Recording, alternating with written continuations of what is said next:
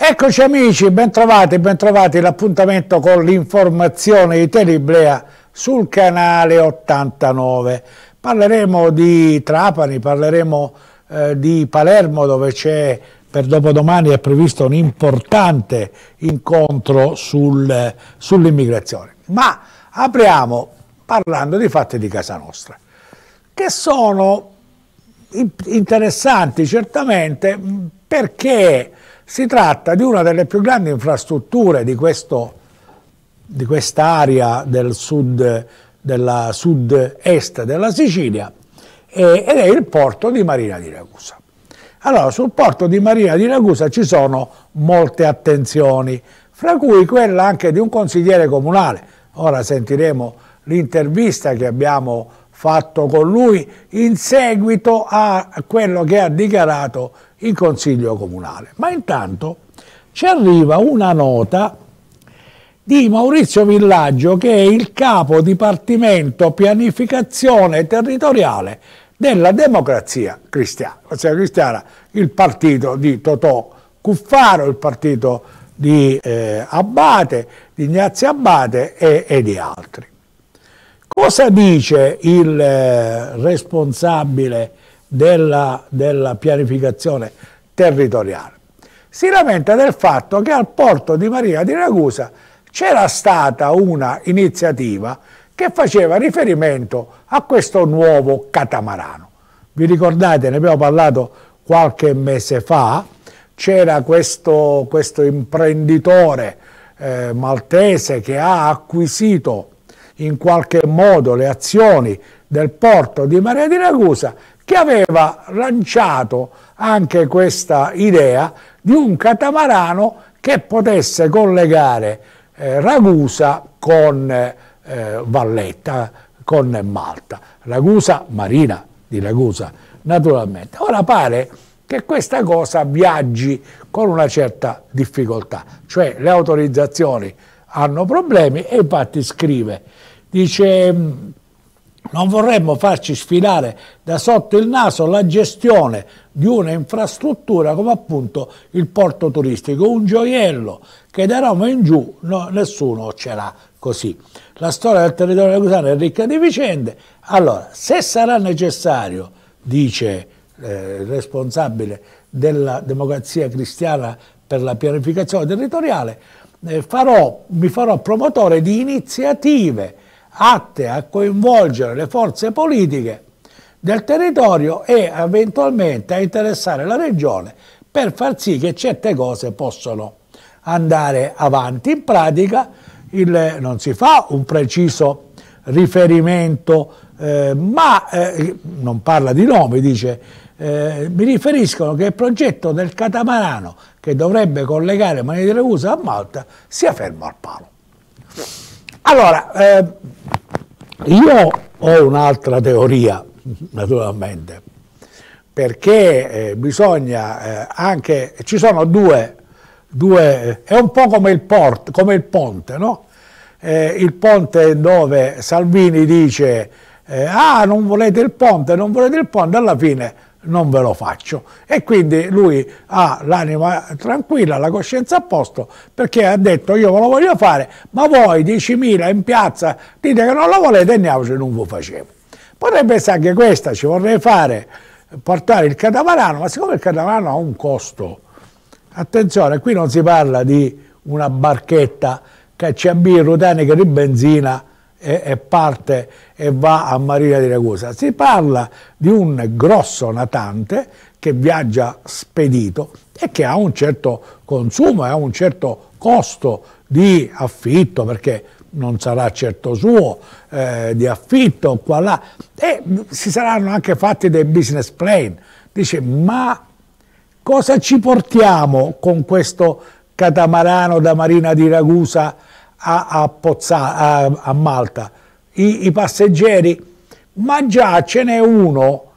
a, a 35 km, molto più grande, molto più organizzato, che porta centinaia di mezzi eh, commerciali che quindi del fatto che ci siano i passeggeri o non ci siano i passeggeri non gliene frega niente e che quindi possono fare il discorso che fa la Ryanair quando vuole ammazzare una tratta. Tu cosa vuoi fare? Vuoi mettere un volo, tipo, escluso Comiso, perché Comiso stamattina è successo un casino, perché il volo dell'Air Italy non è partito, poi c'è voluto, poi, ma escluso Comiso, eh, arriva l'Arena e dice, ah tu vuoi fare un Palermo-Roma? Io ti metto subito un altro Palermo-Roma e ti faccio i biglietti a 15 euro. Siccome l'Arena se lo può permettere, è la stessa cosa, probabilmente la Virtu Ferri se lo può permettere di abbassare i costi e comunque potrebbe anche avere una certa forza politica per scoraggiare ogni altra iniziativa. Lo abbiamo già vista questa cosa con quelli di Augusta, con altre eh, iniziative che eh, volevano collegare la Sicilia con Malta quelli della Virtu praticamente si sentono eh, monopolisti perché l'hanno fatto loro, l'hanno portato avanti loro, sono 30 anni che ci lavorano, hanno costruito eh, i mezzi migliori per, per, la qualità del viaggio delle persone e quindi, allora, io non vi so dire se c'è un, un intoppo burocratico qui, ma non credo. E non credo che ci sia un problema che il comune eh, non voglia autorizzare il viaggio del catamarano non sarebbe certamente compito de, del comune, ma credo che l'inghippo sia da un'altra parte, sia da, dalla parte maltese dove credo ci siano delle regole, ci sono delle esclusive, dice ah ma le rotte del mare sono libere, certo, ma ci sono delle esclusive sugli usi eh, degli spazi portuali e compagnia bella. Quindi il grido d'allarme di Maurizio Villaggio noi lo prendiamo per buono, ma secondo me dobbiamo andare molto più a fondo per capire chi è che blocca una situazione del genere. A questo punto però torniamo a quella che era la vicenda eh, principale con la quale abbiamo aperto il nostro telegiornale, cioè la questione, ma di questo porto, di chi è questo porto? Chi, la, chi sono quelli che lo hanno comprato? Non ci dimentichiamo che il porto di Maria di Ragusa è un project financing, eh, in pratica eh, diciamo che una buona parte è del comune di Ragusa che è sempre proprietario della struttura, ma poi eh, chi ci ha messo i soldi ha preso la gestione. Ultimamente chi ci ha messo i soldi non ne aveva più e quindi eh, c'è stata un'operazione eh, per la quale secondo alcuni il porto è stato ceduto per un piatto di lenticchie, chiaramente equivalente, sempre qualche milioncino di euro, ma ben, ben, poca roba a confronto di quello che può essere un porto turistico del genere, e però eh, ci sono state diverse interrogazioni da parte del consigliere Mauro, prima al consigliere comunale, prima ha chiesto ma quali sono i costi, come sono stati dati questi soldi e ora si è preoccupato di sapere in verità chi sono i proprietari del porto, perché noi sappiamo che una società che fa capo ad un imprenditore maltese, si chiama Gauci, eh, che è proprietario di supermercati e anche di catene di negozi di, di marca, negozi di abbigliamento,